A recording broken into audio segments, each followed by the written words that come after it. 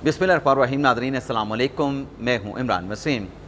नाजे आज के प्रोग्राम में हम बात करेंगे जो सुप्रीम कोर्ट की जानब से N A one fifty four, Lodhran, N A seventy nine, N eighty one, Gujranwala के हलकों से मुतलक जो फैसला सुनाया गया है, जिसके नतीजे में पाकिस्तान तहरीक इंसाफ की तीन विकटें गिर गई हैं। दो रोज़ पहले आपके साथ मैंने ये खबर शेयर की थी कि पाकिस्तान तहरीक इंसाफ की तीन विकटें निशाने पे आ गई हैं। लेकिन मैंने आप नाजरीन को यह भी बताया था कि जो सुप्रीम कोर्ट फैसला सुनाने जा रही है, नहीं मालूम कि फ़ैसला क्या होगा, लेकिन चूँकि नून लीग के उम्मीदवारों की जानब से पाकिस्तान तहरीक इंसाफ के तीन अरकान असम्बली के ख़िलाफ़ अपीलें सुप्रीम कोर्ट में दायर की गई, उस पर आज सुप्रीम कोर्ट जो है वो फ़ैसला सुनाने जा रही है। तो आज सुप्रीम कोर्ट की जानब से फ़ैसला सुना दिया गया है और फैसले के नतीजे में जो नून लीग के उम्मीदवारों की जो अपीलें थीं, लाहौर हाई कोर्ट के फ़ैसले के ख़िलाफ़ उन्हें एक्सेप्ट कर लिया गया है। और इन अपीलों के एक्सेप्ट होने के बाद लीगी जो उम्मीदवारान हैं N A one fifty four से Abdulrehman Kanju N A seventy nine से जुल्फ़ार अहमद और एन एटी वन से अज़हर कयूम नारा जो हैं, वो दोबारा से बहाल हो गए हैं। तो इस फैसले पर आज के इस प्रोग्राम में हम बात करेंगे। हमारे साथ सीनियर साफ़ी जानजेब अब्बासी भी मौजूद हैं। सबसे पहले तो इस मामले का जो पस मंज़र है कि रीकाउंट में मामला ये क्यों गया और नीचे क्या फ़ैसला हुआ था? लाहौर हाई कोर्ट ने क्या फ़ैसला दिया था? और आज सुप्रीम कोर्ट ने क्या फ़ैसला दिया और कानून इस हवाले से रिकाउंट के हवाले से क्या कहता है? और इस फैसले का जो मखसूस नशस्तों के हवाले से सुप्रीम कोर्ट का 12 जुलाई का फैसला है, उस पर इम्पैक्ट क्या पड़ेगा? और आज के इस सुप्रीम कोर्ट के फैसले के बाद ये कहा जा रहा है कि प्लान सी ने काम करना शुरू कर दिया। तो प्लान सी क्या है? हकीकत क्या है? फैक्चुअल पोजीशन क्या है? इन तमाम मामला पे आज के प्रोग्राम में हम बात करेंगे। से अब्बासी साहब को वेलकम करते हैं। बहुत शुक्रिया इमरान वसीम साहब जान से अब्बास साहब सबसे पहले तो इस मामले का पस मंज़र आप बताएँ कि ये दरअसल मामला था क्या? इमरान वसीम जो 8 फरवरी 2024 को आम इंतबात हुए थे इसमें एन ए चौवन से राना जी 154 से Rana Faraz Noon N A eighty one Gujranwala से बिलाल इजाज़ और N A seventy nine Gujranwala से एहसानुल्ला विर्क जो है ये एज आज़ाद उम्मीदवार। ये कामयाब हुए सपोर्टेड बाय पाकिस्तान तहरीक जी सपोर्टेड बाय पाकिस्तान तहरीक इंसाफ। इन उम्मीदवारों के जो मुखालिफ में थे पाकिस्तान मुस्लिम लीग नून के उम्मीदवार उनमें अब्दुलरहमान कांजू अज़हर क्यूम नारा और जुल्फ़ार अहमद थे। इन्होंने दोबारा गिनती के लिए इलेक्शन कमीशन से रजू किया। क्यों? क्यों अच्छा, रजू किया? ये कानूनी हाँ, बात भी तो समझाना है हाँ, ताकि सुनने वालों को पता चले क्योंकि आपको पता है कि आज के इस फैसले के बाद एक नई कंपेन काजी फायसा के खिलाफ शुरू होने वाले तो आप बताएँ कि क्यों रिकाउंट की दरखास्त दी गई? हाँ, रिकाउंटिंग की दरखास्त इसलिए दी गई थी कि जो जीत का मार्जिन था वो पाँच परसेंट या इससे कम अगर हो तो रिकाउंटिंग की दरखास्त दी जा सकती है इलेक्शन कमीशन में। ये कानून कहता है। ये कानून कहता है। तो जब ये इलेक्शन कमीशन में दरख्वास्त दी गई तो इलेक्शन कमीशन ने क्या किया? इलेक्शन कमीशन ने दोबारा गिनती में नून लीग के इन तीनों अरकान को कामयाब करार दे दिया। इस फैसले के ख़िलाफ़ आज़ाद उम्मीदवार रिट पटिशन में लाहौर हाई कोर्ट चले गए। लाहौर हाई कोर्ट ने इलेक्शन कमीशन के फैसले को कलदम करार दिया। इलेक्शन कमीशन के फैसले के ख़िलाफ़ नून लीगी अरकान सुप्रीम कोर्ट में आ गए। अब यहाँ पे एक सवाल उठता है। सवाल ये है कि ये रिकाउंटिंग का जो मामला है ये इलेक्शन ट्रिब्यूनल के बजाय इलेक्शन कमीशन में क्यों गया? ये तो, सवाल हो रहा है। तो इसकी वजह ये है कि जिस जब हमने ये केस कवर कर रहे थे तो उस वक्त भी ये बात सामने आई थी कि जिस रात को ये इलेक्शन रिज़ल्ट कंपाइल हो रहे थे उसी रात आरओ को दरख्वास्त दे दी गई थी। बिल्कुल तो उस वक्त इलेक्शन ट्रिब्यूनल तश्कील ही नहीं पाए थे। उस वक्त फोरम किसी भी मुतासर फरी के पास जो था वो इलेक्शन कमीशन के पास था। इसलिए इलेक्शन कमीशन इख्तियार इलेक्शन कमीशन के पास था। उस वक्त इख्तियार इलेक्शन कमीशन के पास था। एक तो ये बात है। अब ये जो इसको नरेट किया जा रहा है जुडिशल पैकेज के के साथ। मेरे ख्याल में ये चीज़ लॉजिकली इसलिए समझ नहीं आती कि अब इलेक्शन ट्रिब्यूनल्स जो हैं, वो इन मामला को देखेगा।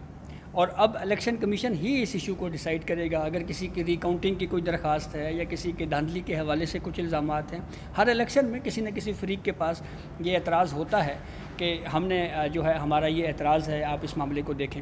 लेकिन सबसे अहम बात जो मुझे इस शॉर्ट ऑर्डर में अभी तक समझ आई है अभी इसकी डिटेल रीजनिंग आना बाकी है इसमें अक्सरियती फैसला क्योंकि चीफ फैसला तो डिटेल ही है अभी अंदर हाँ, मुख्तसर सुनाया गया है। वो, वो थोड़ा सा वजूहत जब एक आध पैरा ही पढ़ते हैं बाकी तो अभी वेबसाइट पे जारी हो जाएगा। जी जी। इसमें एक अहम ऑब्जर्वेशन दी गई है कि लाहौर हाई कोर्ट ने रिट पटिशन में इलेक्शन कमीशन और उसके मेम्बरान के ख़िलाफ़ कुछ ऑब्जर्वेशन दी हैं। और इलेक्शन कमीशन एहतराम का मुस्तक है क्योंकि वो आइनी इदारा है। इसलिए ये फ़ैसला जो है ये बरकरार नहीं रखा जा सकता। सुप्रीम कोर्ट के अक्सरीती फ़ैसले में ये कहा है। अकील वासी साहब ने इससे इख्तलाफ किया है। हम्म। अब यहाँ पे एक सवाल ज़रूर पैदा होता है कि कोई भी फोरम है उसके ऊपर जब कोई इशू डिसाइड होता है तो उसके ख़िलाफ़ अपील होती है। लेकिन अपील में आप जाके किसी आइनी इदारे अब जैसे इलेक्शन कमीशन है, आप उसके ख़िलाफ़ ऑब्जर्वेशन देना शुरू कर दें। इससे एक चीज़ तो चले, हम कुछ देर के लिए ये भी कह सकते हैं कि भाई उन्होंने निशानदेही की है, ये ये ये। लेकिन जो सख्त किस्म की ऑब्जर्वेशन दी जाती हैं, जैसे इलेक्शन कमीशन के हवाले से तो एकदम से हमारा माइंड फिर पाकिस्तान तहरीक इंसाफ की तरफ़ चला जाता है कि पाकिस्तान तहरीक इंसाफ का टोटली बयानिया जो है, वो इस इस वक्त दो चीज़ों के ऊपर खड़ा है। या इलेक्शन कमीशन के अगेंस्ट कंपेन या इलेक्शन कमीशन के ख़िलाफ़ बयानबाजी, या chief justice of Pakistan Qazi Faez Isa के ख़िलाफ़ बयानबाजी। तो इसलिए मैं ये समझता हूँ कि जो हमारी कॉन्स्टिट्यूशनल कोर्ट्स हैं, इनको आइनी इदारों के ऊपर, उनके ख़िलाफ़ आप इस तरह से बात करेंगे तो फिर ये इम्प्रेशन ये जाएगा कि आपकी वो कही हुई बात, उसको एक पॉलिटिकल पार्टी यूज़ करेगी फिर। तो ये पहली मरतबा नहीं हुआ। इसको बहुत सारे ऐसे जान साहब इसी बात के ऊपर मैं मैं अपना भी इनपुट आपके साथ शेयर करूँगा कि ये जो चेंज हम अदालतों में देखते हैं इलेक्शन कमीशन के हवाले से माजी का इलेक्शन कमीशन भी था मौजूदा इलेक्शन कमीशन भी था लेकिन अपने नाजरन को समझाने के लिए कि ये जो जैसे अभी जान से वबासी ने बताया कि जब ये आठ फरवरी दो हज़ार चौबीस का इलेक्शन हुआ और इलेक्शन के नतज आ रहे थे या आ चुके थे तो इन लीगी उम्मीदवारों की जानब से उसी वक्त उसी वक्त रिकाउंट की एप्लीकेशन मुतल रिटर्निंग ऑफिसर को दी गई थी। और कानून ये कहता है कि जब रिटर्निंग ऑफिसर को आप रिकाउंट की एप्लीकेशन देते हैं तो आरओ ने उसके ऊपर फैसला करना ही करना है, उस पर रिकाउंट करवाना ही करवाना लेकिन रिटर्निंग ऑफिसर की जानब से इस पर जब फैसला नहीं किया गया तो फिर जो नू लीग उम्मीदवार थे, वो इलेक्शन कमीशन में आ गए थे। इलेक्शन कमीशन ने फिर उनकी दरख्वास्त को, चूँकि नोटिफिकेशन जारी होने से पहले की दरख्वास्तें थी, उनको इंटरटेन करके रीकाउंट किया था और रीकाउंट में फिर नू लीग उम्मीदवार जीत गए थे। यहाँ पर पाकिस्तान तरीके इंसाफ के लोगों का ये कहना है, जो उम्मीदवार हैं, कि जब रीकाउंट हुआ है तो हमारे बहुत सारे जो वोट्स थे चौदह हज़ार के करीब, कोई कहता है दस हज़ार के करीब, कोई कहता है पाँच हज़ार के करीब उनको मुसरत कर दिया गया और फिर इस तरीके से लीगी उम्मीदवारों की जो कामयाबी है उसको यकीनी बनाया गया था। तो आज का जो सुप्रीम कोर्ट का फैसला आया है, इस फैसले में तो इलेक्शन कमीशन के फैसले को बरकरार रखा गया है, लाहौर हाई कोर्ट का फैसला सेटिसाइड किया गया, लेकिन अगर आज भी जो एक रास्ता इस फैसले में पाकिस्तान तहरीक इंसाफ के जो उम्मीदवार हैं, जो कि जिसमें असानुल्ला विरक हैं जिसमें अपने राना बिलाल इजाज़ हैं और जिसमें राना फराज नून हैं लोधरा से। इनके पास अभी भी रास्ता मौजूद है। इनके पास अभी भी रेमेडी मौजूद है कि अगर ये समझते हैं कि इनके जो वोट मुस्रद किए गए हैं, वो गलत मुस्रद किए गए हैं, वो वोट बिल्कुल दुरुस्त है तो ये चाहें तो इस फैसले के ख़िलाफ़ जो है इलेक्शन ट्रिब्यूनल में जा सकते हैं। क्यों? जहाँ से बाबासी साहब, सूरत ऐसे ही है। ये कोई हतमी फैसला तो नहीं है ना? इस तरीके से ट्रिब्यूनल का अख्तियार तो नहीं ख़त्म किया? जी बिल्कुल ऐसे ही है और ये ये सारे सवाल हमें इनका जवाब जो डिटेल रीजनिंग में जो है वो भी मिलेंगे।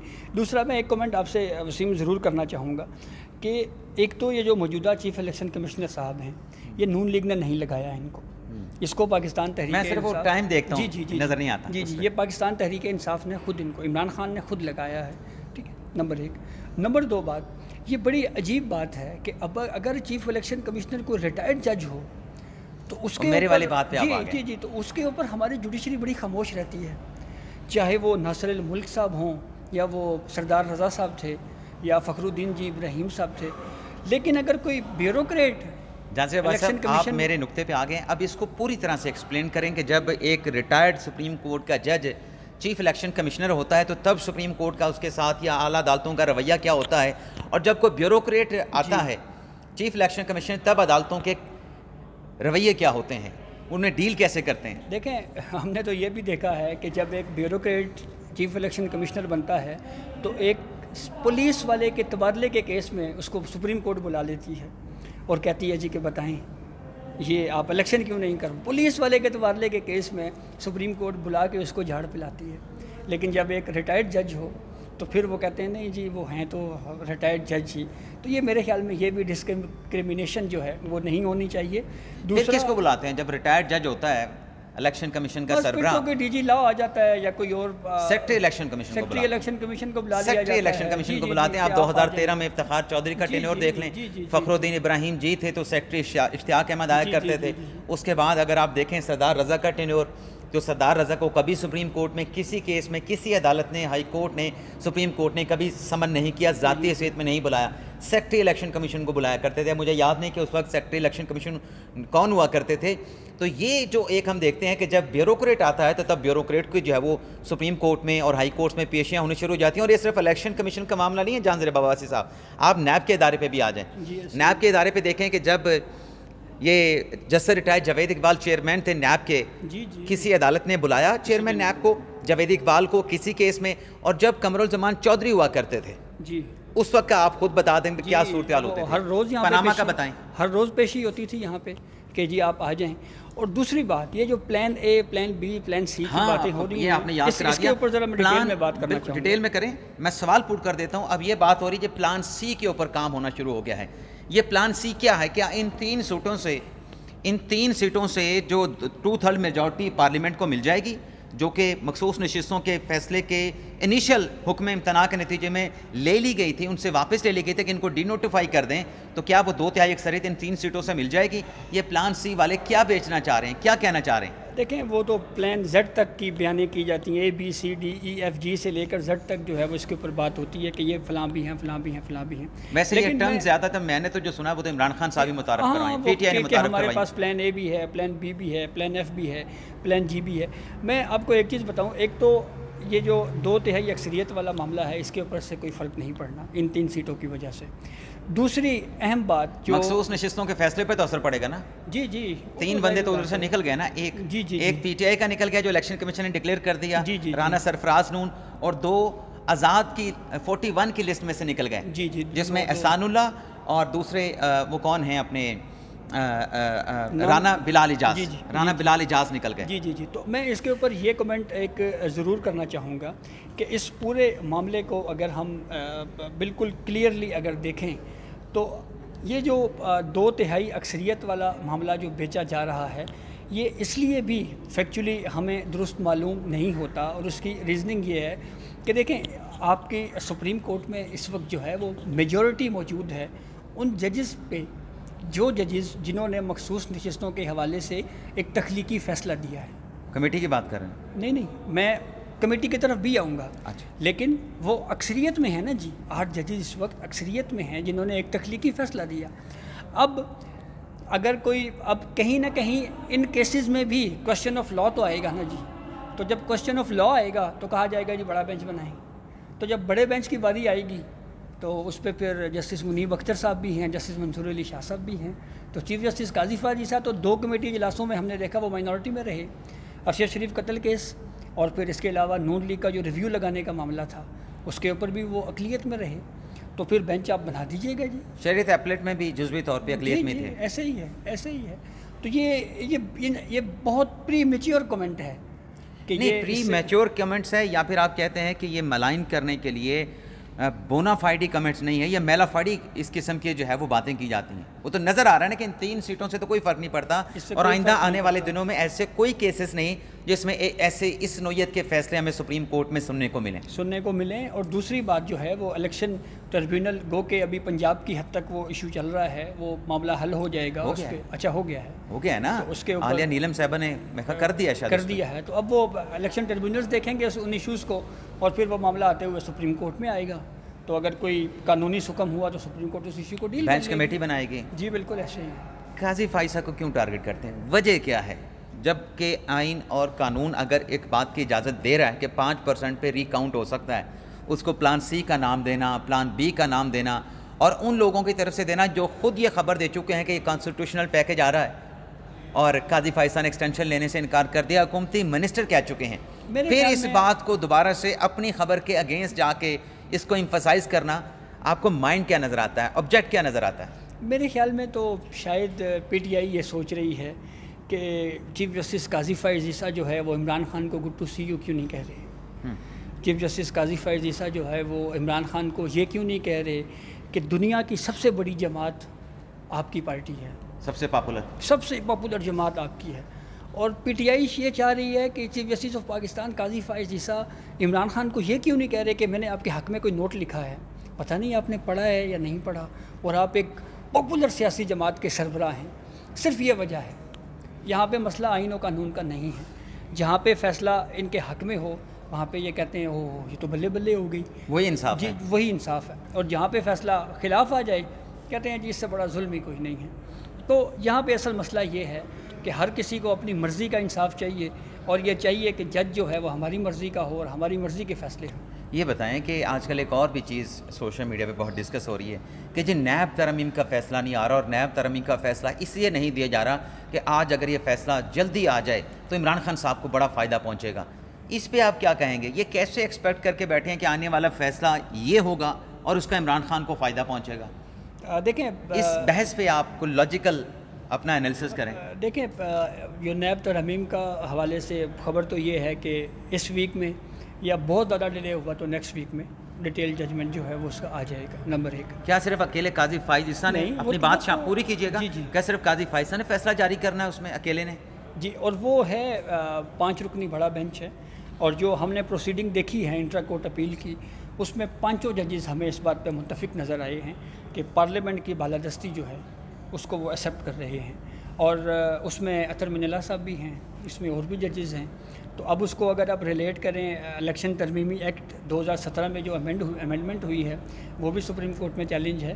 तो इससे एक चीज़ तो क्लियर होती है कि सुप्रीम कोर्ट के अंदर इस वक्त पार्लियामेंट की बालादस्ती को तस्लीम करने वाले जजेस की अक्सरियत मौजूद है नंबर एक। नंबर टू ये जो नैब तरमीम के हवाले से बात की जा रही है वो जो रिमांड वाला इशू है, उसके ऊपर तो एक कानून शायद पार्लियामेंट ने बाद भी बनाया है। बाद में तो बना इसलिए मेरे ख्याल में उस, उससे कोई बहुत ज़्यादा फ़र्क इमरान खान को नहीं पड़ेगा। मतलब आप आप ये कह रहे हैं कि ये जो सोशल मीडिया पे बयानिया बनाया जा रहा है कि आज अगर नैब तरमीम का फैसला आ जाए और बंदयाल साहब का फैसला इजाजुल हसन साहब का फैसला अगर सेट असाइड पाँच रुकनी बेंच काजी फाइसा कर देते तो इमरान खान को उसका फ़ायदा होगा जिसमानी रिमांड चौदह दिन का हो हो जाएगा ऐसा नहीं है फैक्चुअली क्योंकि चौदह दिन के जिसमानी रिमांड को बाद में सब्सिक्वेंट डेवलपमेंट के ज़रिए सब्सिक्वेंट अमेंडमेंट के ज़रिए 40 दिन का किया जा चुका है। और ये जो नैब की तरमीम है ये लाहौर हाई कोर्ट में भी चैलेंज है ये इस्लामाबाद हाई कोर्ट में भी चैलेंज है। मुझे नहीं याद कि शायद सुप्रीम कोर्ट में किसी ने चैलेंज की है। हाँ, तो क्यों फिर इस किस्म के झूठे मन घड़त किस्म के ट्वीट्स किए जाते हैं कि ये फैसला इसलिए नहीं आ रहा कि काजी फायसा नहीं चाहता कि इमरान खान को फ़ायदा मिल जाए? जबकि फैक्चुअली तो ये पोजीशन है ही नहीं। देखें ना उसमें कुछ जजेज ऐसे भी हैं जो मेरे शायद छुट्टियों पे हों तो ये भी एक वजह हो सकती है। कि जी वो छुट्टियाँ आपको पता है रूल्स वो जैसे जैसे मुनीब साहब और मंसूर साहब ने कहा कमेटी इजलास में कि ये रूल्स कहते हैं जी कि जब छुट्टियाँ ये भी हो सकता है कि काजी फायसा ने फैसला लिख के भिजवा दिया हो बाकी जजेस पढ़ रहे हों उस पर सिग्नेचर का इंतज़ार हो। बिल्कुल ऐसा ही है तो वो प्रोसेस होगा।